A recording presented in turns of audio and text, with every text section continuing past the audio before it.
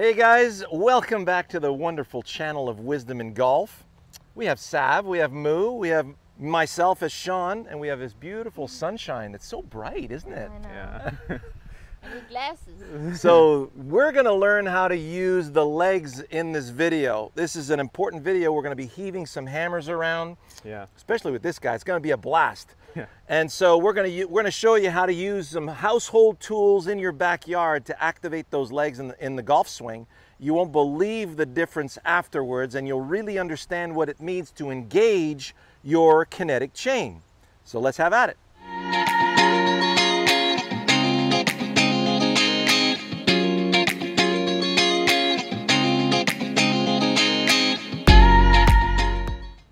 Now, before we start heaving hammers around with this gentleman here, uh, you need to hit the subscribe button and hit that notification bell. And make sure you comment and like the video. See you in a bit. All right, now, your backyard, three pound hammer, we're playing horseshoes with it. So let's say I'm sending uh, a hammer, I've got a leaf right there. So as you're swinging this horseshoe back and forth, notice you wouldn't do it like this with just your arm. I know some of you would even try. So we don't want to feel like we're placing the hammer.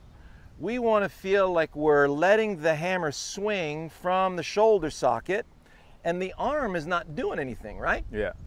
So you notice as I go back, there's a little mini heave. The hammer floats up, and then the brain magically knows when to turn on the juice. You remember when you were a kid on a swing and you wanted to, you know, get the swing to go a lot higher so you'd stand up on the swing and you knew exactly when to pump the swing to mm-hmm. get you that that levitation. That's right. Right? So we're doing exactly the same thing. So here we go one on the leaf, two on the leaf, three on the leaf. There it is. So we're uh, doing this in the rough so that uh, our greenskeeper doesn't yell at us for doing this in the fairway. Yeah. So let's see you toss it right to the left side of that hammer. okay. Look at that. So notice how immediately you got to go to the legs. Yeah. So let's do one more, but we're going to do this golf style now. All right. So if you take it with both hands, Yeah. I'll give you the four pound hammer. Okay. I'll take the three pound. Okay. All right? Yeah. So I'm feeling the weight of the hammer here. You're not going to go to a full backswing with a full cocking of the wrist. You're just using um, a long chip swing and you're heaving that hammer now golf style. So it's one, two, three. Oh, look at that. That's perfect. Okay.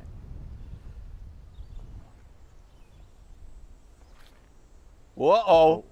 I let go too early. Well, no, weren't you a little careful? Yeah, I was very careful there. See? So, Yeah. I mean, I can't manipulate weight like this the same way you can. Right. So let me see you heave it past the three hammers. Yeah, I didn't have a. Tar- I lost my target there. So you see that? Yeah. You lose your target, you don't know when to let go, Yeah. and everything sputters. Yeah, seized there. So let's see you Go to the- heave that over the middle hammer. Okay.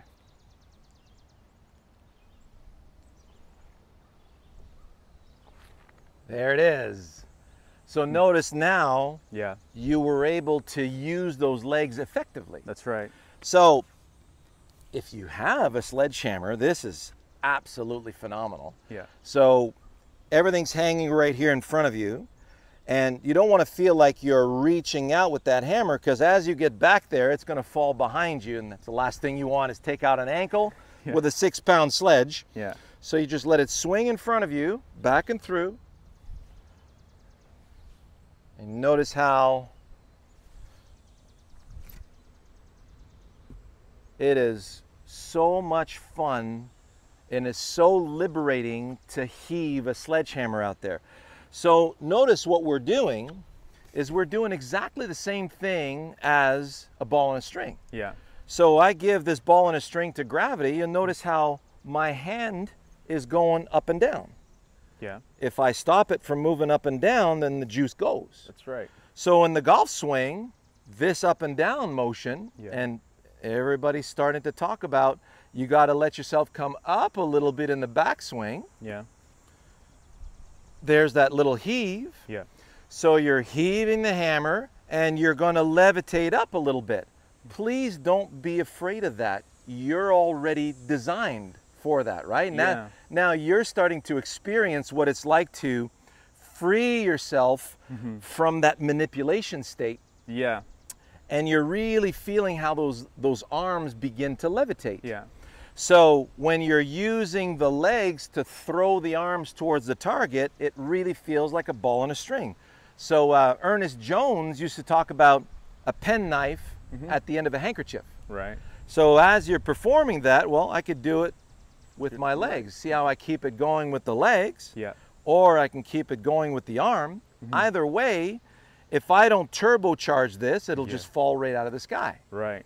So if you look at, and what I'm going to have you do, Moo, Yeah. um, Sav, can you go get our um, our lunge whip, please? Oh, okay. And uh, yeah, I'll have you do the lunge whip. Is you gotta stay tuned for that. Exactly. Do a little rodeo. Yeah. So in tennis, you'll notice when you're doing a top spin forehand, Yeah. you'll see the the tennis pros using the ground to create a lot of topspin in the shot. Mm-hmm. So whether it's backhand or it's forehand, we're using the legs to create speed. Thank you, dear. So, oh, Oh. wrong end. Right. Yeah. This way. So let's say, I'm gonna give you a little room here. Yeah. Let's say you're gonna toss that over the camera. Okay. This would be more like a driver. The ball on a string was more like a wedge. Okay. So let's see you twirl that above your head there. Okay. Exactly. And then release. And then if you, let's say, pretend you're going to throw it over the camera. Okay. All right.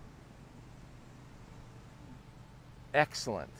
So from the forward side, you'll actually see as the as the club gets longer, Yeah. it's a little less down, a little more out. Yeah. Because it's a little more out, see the there's a little rotation that occurs in my legs? Yeah. Yeah. that Right? Little, yeah. A little rotate. Yeah. So there's a little rotation that occurs in the legs right there. And so this is none of your business. This all this is working at 40 million bits of information per second. Yeah.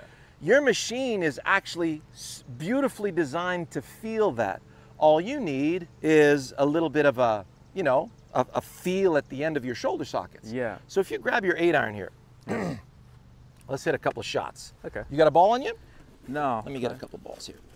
Savvy, can you grab my balls, please? My uh, Bridgestones, please. I don't know, dude, that's a That's a. We'll You that know. Get your mind out of the gutter.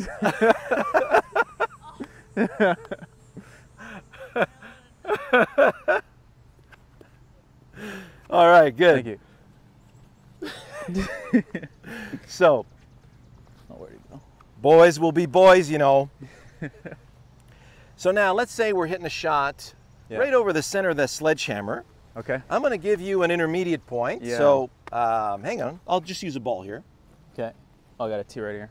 You got a T? Yeah. Perfect. Put it right there in front. You, I know you like how you like that practicing. Yeah. So. We'll aim, uh, yeah, above the sledgehammer there. Good. So now, we just finished doing an amazing session. On our premium channel, you're going to see uh, kinetic chain series. You're going to see turbocharging the release series. You're going to see unstoppable momentum series. Yeah. And we're just starting our perpetual motion kinetic chain premotor cortex series. Yeah. And it's just just so you get all the pieces of the puzzle all lined up and you understand and, and you boil it down into one feel. Yeah. So if you swing back and through above the ball move, Yeah.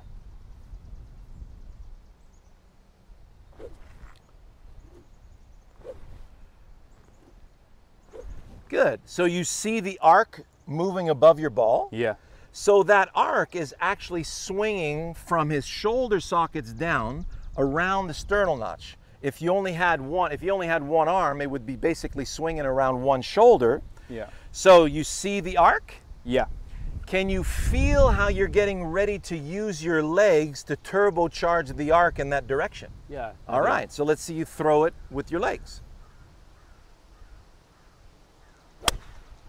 Oh, there's that Shankalicious. Shankalicious. So, did you feel a, a little bit tight? yeah, I was too close to the ball there. Yeah. Well, you think it is. Yeah. Now, you remember when uh, you tossed that hammer a little tentatively? Yeah. So we're swinging through there using your legs, right? Yeah. So did you feel a little tentativeness in that swing? Yeah, I did because the position changed. Yeah, you are on camera. With thousands of people are watching you, right? Yeah, that's right. So let's see that wonderful throw using your legs. La di da. okay.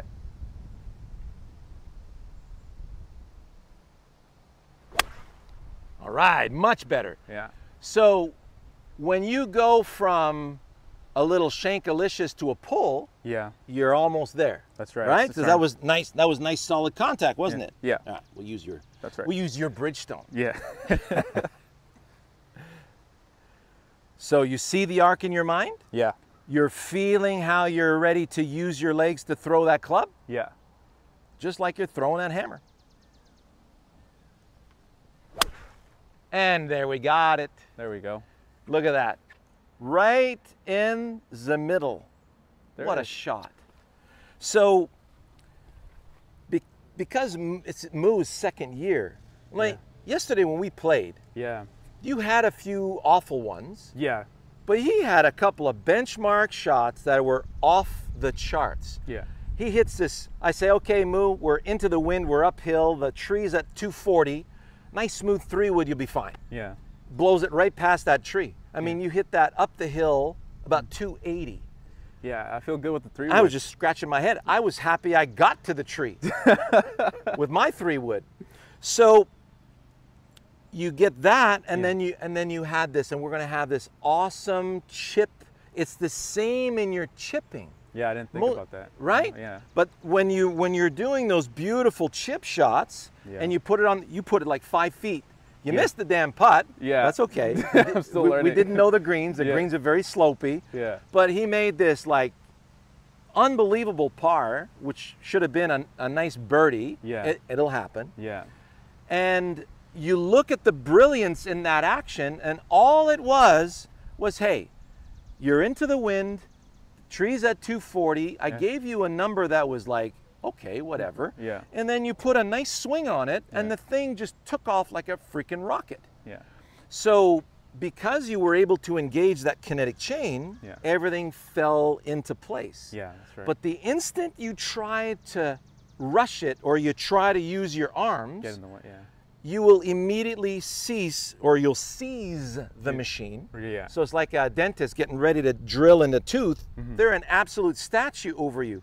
So when your brain senses that you're trying to make a nice manipulation, it will seize the body. It says, hey, turn this guy into a statue. We got to make sure we get accurate with this. Yeah. The problem is both arms are handcuffed in front of you, and if you don't move the body, all you get is arms slapping you Yeah. uh, twice, backswing and follow through. Yeah. You get really sore, you don't go anywhere, and you don't have any fun. That's right. That last swing was a blast to watch.